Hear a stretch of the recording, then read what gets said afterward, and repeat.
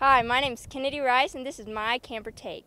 I believe that the St. Louis Cardinals have the best infield in the MLB. First, we have Nolan Arenado. He's the on third base. He is the only player to have 10 Gold Glove awards in his first 10 years playing in the MLB. Then we have Paul DeJong. He's the only rookie in MLB history to have seven extra base hits in a three game series. And then on first base, we have Paul Goldschmidt. Um, he's a seven time All Star player. My name's Kennedy Rice, and this is my camper take.